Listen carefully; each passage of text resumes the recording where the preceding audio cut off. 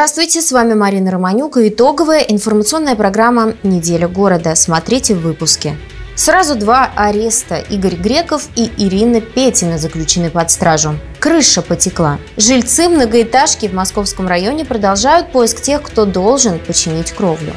Первым отделом по расследованию особо важных дел Следственного управления Следственного комитета России по Рязанской области бывшему вице-губернатору Рязанской области Игорю Грекову предъявлено обвинение в получении взяток в особо крупном размере.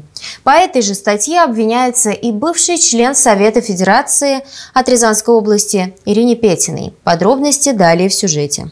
Новость, которая всколыхнула все социальные сети. Арест бывшего вице-губернатора Игоря Грекова. Как сообщается в СМИ, задержали его сотрудники столичного ФСБ 13 июля в Ростове-на-Дону. Ему предъявлено обвинение в получении взяток в особо крупном размере. По данным следствия, в период с 2018 по 2021 годы обвиняемый получал от руководителей коммерческих организаций взятки за содействие в заключении с указанными фирмами государственных контрактов на поставки медицинского оборудования для нужд лечебных учреждений Рязанской области. На основании ходатайства следователя в отношении обвиняемого избрана мера пресечения в виде заключения под стражу. Двумя днями ранее, 11 июля, была задержана Ирина Петина, бывший член Совета Федерации ФС РФ от Рязанской области. Ей предъявлено обвинение по той же статье получения взяток в особо крупном размере. Максимальное наказание по статье до 15 лет лишения свободы. Оперативное сопровождение уголовного дела осуществляется сотрудниками Центрального аппарата и регионального управления ФСБ России. По уголовному делу проводится комплекс процессуальных действий, направленных на сбор и закрепление доказательств. Следствием принимаются меры к выявлению имущества обвиняемых с целью наложения на него ареста и обеспечения возмещения ущерба, причиненного региональному бюджету. В настоящий момент Ирина Петина обжаловала решение Советского районного суда Рязани об избрании в отношении нее меры пресечения в виде содержания под стражей. Об этом сообщили в пресс-службе областного суда. Рассмотрение жалобы состоится 19 июля. Заместителем прокурора железнодорожного района города Рязани утверждено обвинительное заключение по уголовному делу в отношении трех жителей Московской области, обвиняемых в совершении двух эпизодов мошенничества группы лиц по предварительному сговору, один из которых с причинением значительного ущерба, а второй в крупном размере. В ходе предварительного следствия установлено, что в сентябре 2022 года молодые люди решили заняться хищением денежных средств путем обмана граждан, проживающих на территории Российской Федерации. Так, в сентябре 2022 года неустановленное в ходе следствия лицо по телефону сообщило двум жителям Рязани о том, что их родственники стали виновниками дорожно-транспортных происшествий, и для решения вопроса требуется значительная денежная сумма. Рязанцы, введенные в заблуждение, согласились на передачу передачу денег. После этого неустановленное лицо сообщило 21-летнему жителю города Сергиев Посад, а тот, в свою очередь, своим приятелям, которые с этой целью уже находились в Рязани. Следуя инструкциям, два курьера приехали к обманутым рязанцам и забрали у них в общей сложности 750 тысяч рублей. Часть из этих денежных средств молодые люди оставили себе, а больше перевели неустановленному лицу.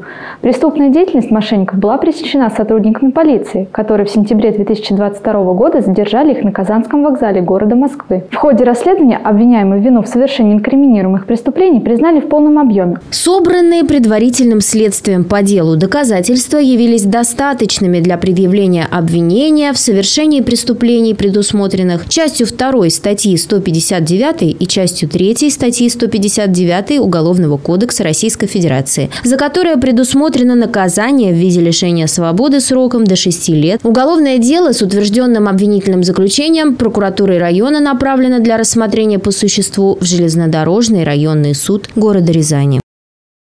Крыша течет. Неисправная кровля в доме 21 дробь 1 по улице Комбайновой – проблема уже много лет. Жильцы верхнего этажа живут в окружении плесени, сырости и грибка. Стены не просыхают, потолки рушатся, но самое опасное – вода льется прямо в электрощитки. Пока жильцы не могут добиться исправления ситуации ни в одной инстанции. Вот уже год длятся судебные тяжбы Александра Тюгаева с ЖЭУ номер 8. В прошлом июле 24 числа в квартире его родителей случился серьезный пожар. Был дождик, Э, заключение МЧС поставлено на том, что было возгорание в середине комнаты э, в районе люстры, вот, на потолке. Вот. ЖЭО вину не признает, у них, ну, у нас крыша не течет и все. В данный момент идет судебное разбирательство. Вот даже повестки достал сегодня. Пойду получать в суд. У него живут с ним еще двое родителей. Папа лежачий, он, за ним нужен постоянный уход. Мама перенесла операцию на сердце, едва ходит. Сейчас в квартире нет ни электричества, ни отопления. Под потолком вместо люстры висит ведро, ведь ситуация с текущей кровлей с тех пор неизменна, и каждый дождь заканчивается водопадами прямо в квартиру. При этом мать Александра, человек советской закалки, всю жизнь проработавшая на заводе, продолжает ежемесячно оплачивать все квитанции. Ситуация касается большинства жильцов. У соседа через стенку, к слову, рухнул рухнул потолок от постоянных течек, а стены под отвалившимися после очередного ливня обоями оказались сплошь покрыты плесенью. Мужчина, к слову, тоже собирается судиться. В слоении дома там как раз все видно с моей стороны у соседа. У него вообще потолок обвалился, скажем так, да, арматура торчит, которая уже сгнила даже вот так вот. Соседние подъезды страдают от дождей не меньше. Каждый облачный день сулит людям ухудшение погоды в доме. Течет очень давно, обращался в ЖК, обещают сделать, никогда не отказывают. И, может быть, даже что-то и делают. Но как текло, так и течет. И самое страшное то, что вот оно протекло, и вроде бы дождь прошел, и, и вроде бы как все. Но у меня продолжает течь, видно, где-то там попадает вода в какие-то полости, и еще потом неделю течет. Единственное, что спасает, что это у меня в кладовке. Это темная комната. И частично в туалете. Чернота там у меня, грязь грибок, я не знаю, что. Это одно. Второе. Над электрическим щитом у нас то же самое. А, значит, вода течет прямо в электрический щит, заливать его. И не дай бог, повторение вот Сашиной проблемы. Мне точно гореть придется, потому что это все над моей квартирой. В ЖЭУ номер 8 мы дозвонились. Главный инженер Ирина Махно так объяснила ситуацию. Несколько лет назад на этом доме проводился капитальный ремонт кровли. Существующее асфальтобетонное основание на крыше было заменено на цементно-песчаное. И вот это цементно-песчаное основание, вновь э, смонтированное, сделанное подрядной организацией, оно э, все эти годы дает трещины. И когда мы укладываем на это основание рулонное покрытие, то вместе с порывами основания рвется и верхние рулонные слои. Э, мы периодически Э, устраняем эти дефекты, стараемся, э, но, к сожалению, образуются новые и новые участки повреждений. Ну, то есть, по факту, это вопросы скорее к подрядной организации, если я правильно понимаю, которая некачественно совершила ремонт. Э, гарантийные сроки уже прошли. Это больше 10 лет уже прошло. Угу. Но просто вот эта цементная песчаная стяжка, она себя так ведет. Капитальный ремонт кровли в этом доме запланирован на 2034 год. Но местные жители считают, что в таких условиях опасно жить уже сегодня. Дело о пожаре в квартире Александра ведет юрист из Общества защиты прав потребителей. А мы будем следить за развитием ситуации. В Рязанской области продолжаются публичные доклады зампредов правительства и курируемых ими блоков. Затронули темы строительства, территорий, природопользования и другие ответили на вопросы рязанцев, поступившие из зала и соцсетей. Особое внимание Анна Рослякова уделила теме помощи бойцам спецоперации и подшефному региону Херсонской области. Рязанские строители помогают ремонтировать капитальные объекты в Херсонской области, а специалисты ЖКХ налаживать тепло- и водоснабжение. Об этом рассказала первый заместитель председателя правительства Рязанской области Анна Рослякова во время публичного доклада зампредов правительства. Плюс субъект этот не так давно вошел в состав страны. От того помогают еще и, что называется, советам. Оказывают консультативно-методическую помощь органам местного самоуправления. В последнюю мою поездку в Херсонскую область как раз произошла катастрофа на Каховской ГЭС. Я в это время была в Новой Каховке. Поэтому, собственно говоря, там двое суток с коллегами из администрации налаживали процессы по эвакуации жителей, ну и, собственно говоря, помощь. Поэтому часто это или не часто, наверное, не часто, но думаю, что будет со временем чаще. Большую часть своего доклада Анна Рослякова посвятила именно теме поддержки как участников СВО, так и членов их семей, а также тех рязанцев, которые активно помогают бойцам, вяжут маскировочные сети, шьют балаклавы и печатают на 3D-принтере необходимые приспособления. Коснулись и другого важного вопроса – качества воздуха. Анна Рослякова рассказала, что только у региональной власти есть автоматическая круглосуточная система мониторинга качества атмосферного воздуха. В этом году оборудование докупят купят, чтобы не было перерывов на поверку. А в следующем приобретут дополнительно передвижные лаборатории, чтобы оперативнее реагировать на сигналы жителей. Для всех очевидно, что мониторинг не устраняет неприятный запах и вредные вещества. Поэтому комплекс мер, направленных на снижение вредных выбросов и улучшение качества стоков, должны предпринять все предприятия вне зависимости от того, государственные, муниципальные, частные, и вне зависимости от их размера. В этом направлении мы, собственно говоря, и будем двигаться в этом вопросе. После доклада перешли к вопросам из зала. Одна из тем – нашествие непарного шелкопряда. Министр природопользования отметил, что в прошлом году было обработано порядка 2000 гектар. Работу эту продолжат. По итогам осенней инвентаризации Центром защиты леса Министерство природопользования направит заявку на получение дополнительных бюджетных средств, чтобы весной 2024 года провести мероприятие по локализации очагов. И в продолжении темы леса прозвучал вопрос о высадке лесных насаждений после прошлогодних пожаров. До этого момента необходимо провести лесопатологическое обследование, после которого назначаются санитарно-оздоровительные мероприятия в лесах – вот э, на 23 год на осеннюю посадку министерством уже запланирована посадка на площади 600 гектар. Остальная площадь, э, пройденная огнем, и Гарри 22 года – Э, будут в рамках защиты бюджетных проектировок э, направлять заявки для получения финансирования, после чего будет также будет проводиться лесопатологическое обследование, санитарно-оздоровительные мероприятия и потом уже посадка на 24-25 годы. В регионе для снижения затрат создадут три муниципальных округа – Сасовский, Ряжский, Путятинский. А вот со Скопинским округом сложнее. Такое решение примут, если поступит инициатива от местных жителей. Также стало известно, что в Рязанской области пройдут мероприятия, посвященные столетию со дня дня рождения поэта Расула Гамзатова. Партнер программы «Неделя города» – выставка продажи икра и рыба камчатская. Морепродукты с Дальнего Востока прямиком к вашему столу. До 22 июля включительно возле главного входа в торговый центр «Премьер». Часовне имени Ипатия Триполисского произошло поистине яркое событие. Старый деревянный купол заменили на новый. Примечательно и то, что часовня эта находится на земле былинного рязанского героя. Эта небольшая часовня стоит в селе Фролово Рязанской области. Рядом памятник Евпатию Калаврату. Местные жители былинного героя называют защитником земли Рязанской. Часовня ему и посвящена, хоть и с некоторыми оговорками. Священнослужители говорят, что Евпатий Калаврат не был святым, поэтому часовня освящена в честь мученика Ипатия Триполийского. Но что историки, что местные жители уверены, здесь и берет свое начало древний род Калавратов. Как у всякой столицы столице у Рязани был пригород. И вот, вероятнее всего, Фролово было одной из таких вот вотчин Калаврата.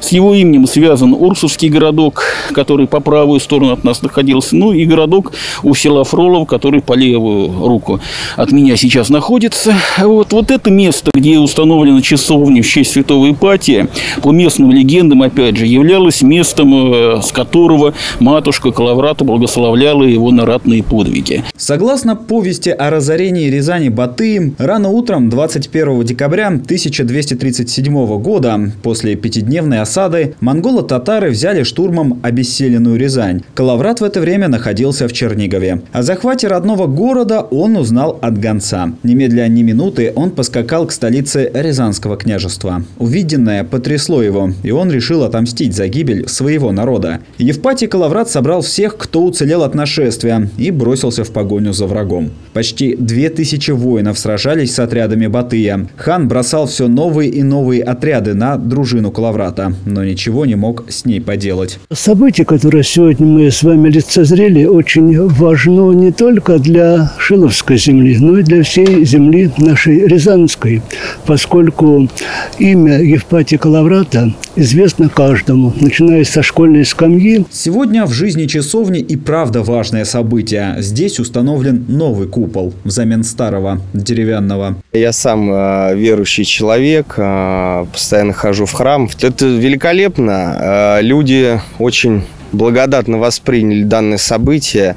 А, спасибо вот Анатолию Ивановичу Монахову, который помог осуществить а, вот, устаревший купол, заменить на новый. Благодаря стараниям руководителя фонда Евпатик Лаврат Анатолия Монахова эта часовня и появилась. Несколько лет назад здесь была освящена земля с родины богатыря и отправлена на поле сражения Калаврата с татарами. А сегодня часовня засияла ярким светом. Мы, жители села Фролово, я лишь хотим поблагодарить Анатолия Ивановича Монахова за то, что он созд... это, построил этот нам как бы маленький храм. И сегодня у нас большая радость, когда стало в деревне Фролово намного светлее. Фонд Евпатия Калаврата планирует развивать и расширять проекты, связанные с именем героя. В России верующие любят и почитают Казанскую икону Божьей Матери. С торжествами в честь этого образа связаны и церковные, и народные традиции. День Казанской иконы Божьей Матери отмечают дважды, летом и осенью. Казанскую летнюю, так праздник называют в народе, ежегодно празднуют 21 июля. Казанскую икону Божьей Матери считают чудотворной. Почитать икону начали с 1579 года. Такая особенная символическая наполненность и значимость, она была определена, наверное, самим местом обретения э, извода Казанской иконы Божьей Матери. Э, дело в том, что прошел пожар большой в Казани, в новопостроенном городе. Э, и в этот момент татары, живущие на этой территории, они просто посмеялись над русскими, сказав, что, наверное, ваш христианский бог вам не очень-то и помогает. И вот как заступница перед язычниками, как покровительница христиан на языческой земле, Богородица явилась в этот момент для того, чтобы явно и вещественно доказать, что ее молитвенная помощь никогда не оскудевает. С тех пор это особое покровительство именно воинам, которые сражаются за веру христианскую. Икона сопровождала русские войска во время польской интервенции, Петра I во время борьбы со шведами, а в 1941 году самолет с этой иконой облетел Москву, когда началась Великая Отечественная война. Впоследствии появилось очень много списков, а, причем уже вскоре после того, как она была обретена, не было понятно, стопроцентно, где подлинник, где списки. Очень много самых разных версий а, на этот счет бытует. И в конце концов появилось много списков, которые тоже в свою очередь стали признаваться чудодейственными. И, а, в общем, эта икона стала а, весьма и весьма популярной. У всех списков иконы Казанской Божьей Матери есть определенные отличительные черты. Это, как правило, оплечное или погрудное изображение Богородицы, то есть мы не видим ее путеводительного жеста к младенцу. А в остальном она, в принципе, очень похожа на Адигитрию. Единственное, что лики младенца и Богородицы сближаются друг с другом, то есть акцентируется связь между матерью и младенцем. И вот это, с одной стороны, акцентирование связи между двумя э, ликами, с другой стороны, это акцентирование связи с самим предстоящим перед иконой, потому что укрупнение лика – это значит укрупнение глаз. Лик Казанской Богородицы сейчас есть в каждом храме в Рязани. Именем иконы назван монастырь. В нашем музее есть несколько икон. Это иконы, а, которые раньше бытовали в храмах, а, в рязанских, а, не казанских. Ну, поскольку, значит, популярные, то были и в других храмах. Вот. А если говорить о казанских храмах, то здесь известно в Переславле-Рязанском еще в XVI веке был у нас монастырь, девичий Явленский, как он назывался. То есть он был посвящен явлению Казанской Божьей Матери. То есть, видимо, вот где-то вскоре после этого чудодейственного обретения в Казани а, он и появился. Сначала здесь а, существовал монастырь на территории Кремля, а затем в конце XVIII века был переведен на современную улицу Фурманова. Кроме того, что Казанская Божья Матерь сопровождает русское воинство с момента ее обретения, ей принято молиться об исцелении от болезней, о заступничестве, о семье и счастье в личной жизни. Казанской иконой по традиции благословляют новобрачных. Выставка Лилии Мазаловой открылась в галерее при Внешторбанка. Художница пишет акварелью по ткани и получается удивительный результат. Нежные пейзажи и сочные натюрморты погружают зрителя в мир красок от Лилии Мазаловой. Художник работает в редкой технике горячего и холодного батика, росписи по шелку. На первый взгляд может показаться, что это нежность в работах от акварели, и отчасти в этом есть доля истины, потому что художница пишет акварельные работы. При этом батик – прекрасная возможность сочетать живопись и работу с тканями, к которым художница питает давнюю любовь. Она окончила Рязанское художественное училище по специальности специальности художник-модельер. Холодный батик делается с помощью красок, воды, ткани, резервирующего состава, а горячий батик здесь используется парафин. Вот, многослойное нанесение, парафин, цвет. Вот, все это очень интересно. Парафин потом выпаривается, также делается эффект кракле, вот, эффект бликов. Вот, очень все здорово. Создание работы всегда процесс многочасовой. А, сначала мы идем, конечно, от идеи. В голове возникает что я хочу изобразить. Либо это букет, либо натюрморт, либо пейзаж. А, потом а, работа делается на бумаге. Вот, набросок делается на бумаге. А, с бумаги набросок переводится на ткань. Потом идет работа с резервирующим составом, либо с парафином. И уже идет многослойное нанесение красок. Прежде чем наносить второй слой, необходимо, чтобы первый слой высох полностью.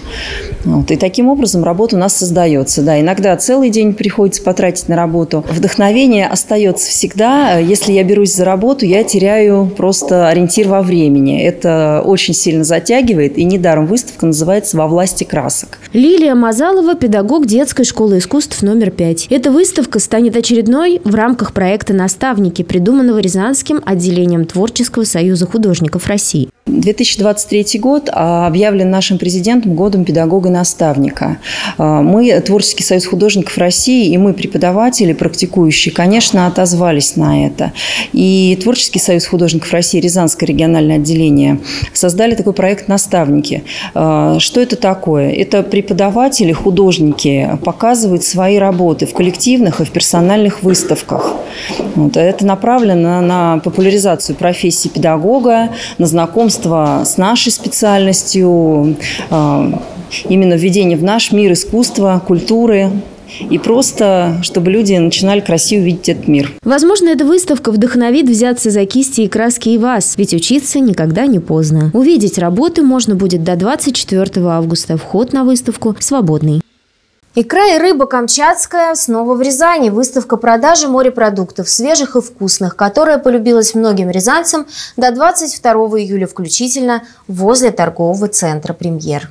Вкусные и свежие морепродукты – залог здоровья. Витамины, жирные кислоты, йод, который, кстати, в нашем регионе в дефиците. В этих кусочках содержится все необходимое, чтобы ваше самочувствие было на высоте круглый год. К тому же употреблять рыбу и икру можно хоть каждый день. Диетологи советуют. Высокая жирность в данном случае не противопоказание, ведь жиры в красной морской рыбе полезные. И показатели белков такие, что не придется думать, как добрать суточную норму. Поэтому Поэтому включить в ежедневный рацион морепродукты рекомендация буквально для всех. Вот только найти качественную продукцию вдали от побережья крайне сложно. Но этот вопрос у рязанцев решен. Выставка продажа икра и рыба камчатская удовлетворяет спрос на качественную, свежую и вкусную рыбу. Самую лучшую, естественно, чавычу.